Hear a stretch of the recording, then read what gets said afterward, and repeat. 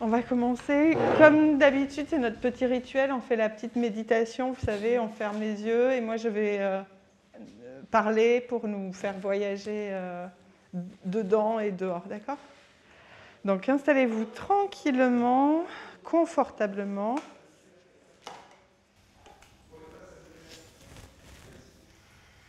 Les pieds euh, dans le sol. On s'étend, on se lève. Et du haut de nos appuis, lentement, on passe la grille. On sort de la résidence et on se retrouve de l'autre côté des murs de la résidence.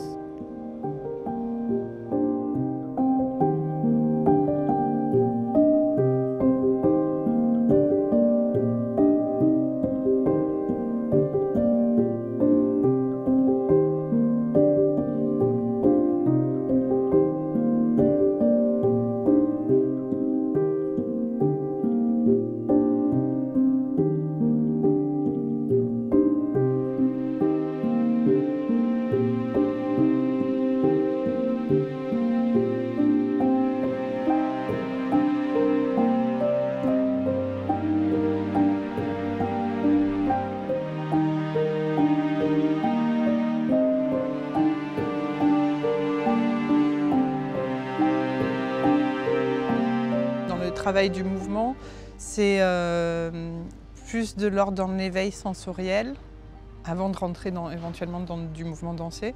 Et, euh, et du coup, c'est les réactiver sur euh, leurs articulations, les appuis dans le corps, les appuis profonds, pour alimenter leur, euh, leur tonus en fait. Justement, aujourd'hui j'en parlais beaucoup, cette chose qui fait que on est, on est éveillé, on est droit et, et pas, euh, et pas avachi et, euh, et- refermé. Donc dans tous les exercices de mouvement, c'est aller réveiller comme ça des micro-espaces. C'est pour ça que c'est du micro-mouvement. Travailler sur la respiration, c'est infime, mais en même temps, ça vient travailler sur des choses profondes, en fait, de recréer de l'espace dans les articulations, dans les poumons, venir créer cet éveil euh, euh, du tonus sans être dans le musculaire, mais en même temps en venant travailler euh, les muscles profonds, ce qu'on appelle les, les muscles plus profonds.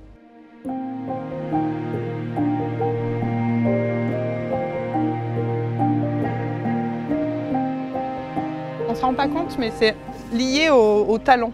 Donc si on a les yeux qui se- s'endorment, on a tout le corps qui tombe.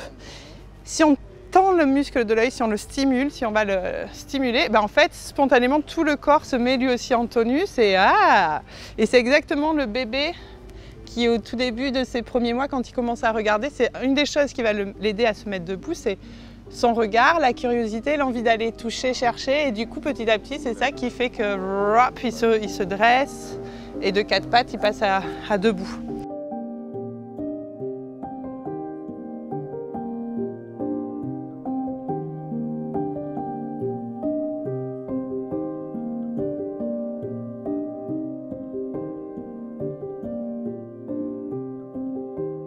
Moi, je trouve que c'est des moments magiques à, ressentir à, côté d'eux. Parce qu'un peu comme elle disait, ils sont lourds. Et là, en fait, tout d'un coup, il y a une légèreté. Elle s'est levée toute seule, sans s'appuyer sur les mains. euh, sans... voilà, c'est comment maintenir le corps dans cette euh, autonomie au lieu de... Après, si vraiment il y a besoin d'un appui extérieur, quelqu'un ou une chaise, on le, le sortira, mais euh, se rendre compte qu'on peut encore solliciter le corps, le lever, le mettre debout par eux-mêmes, juste en allant chercher des appuis auxquels on ne pensait plus. En fait, il y a un travail de conscientisation, euh, de, les amener à prendre conscience de leur corps et des ressources du corps. Et la méditation, pour faire le lien, elle vient travailler ça en fait. Et euh, c'est une base. C'est presque de l'ordre d'un outil hypnotique, mais c'est le faire en début de séance, c'est venir poser comme une induction un paysage intérieur. C'est ce qu'on essaie de faire avec le travail corporel, que ce soit pour eux, corps individuel, nous, corps collectif et corps euh, de la résidence. C'est à se dire, ok, on- on est dans cette situation-là, pour X raisons, que ce soit l'âge, euh, la bâtisse, euh, les maladies, le, moral, peu importe. C'est vraiment cette idée du dedans-dehors, dedans le corps, dedans les sensations, dedans sa mémoire, ses souvenirs, dedans l'appartement, dedans la résidence et dehors. Dehors mon corps, dehors le jardin, dehors la résidence, dehors le quartier, dehors les projections, dehors l'imagination, euh, et engendrer comme ça euh, une, circulation et un, éveil. Avant, on avait le, petit déjeuner le dimanche matin, on avait des repas de Noël, on avait des anniversaires, des, barbecues, tout. Maintenant, on ne fait plus rien. Quand je travaillais, tout, je sortais avec mes copines, tout. On allait manger ensemble, on allait voir on allait au cinéma, tout ça, mais maintenant, maintenant je vois plus grand, vois plus grand monde. Hein. Moi, j'aimerais bien faire un,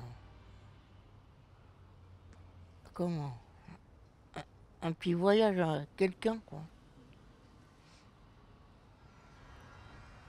Et le jeudi, quand je sais que vous allez venir avec, euh, avec Claire, avec Claire et, puis là ça va, je mais sinon, et ça me, ça fera quelque chose quand ils viendront plus parce que ça me manquera. Si je faisais plein de trucs le jeudi, là, mais après, quand ils seront plus là, ce sera plus pareil.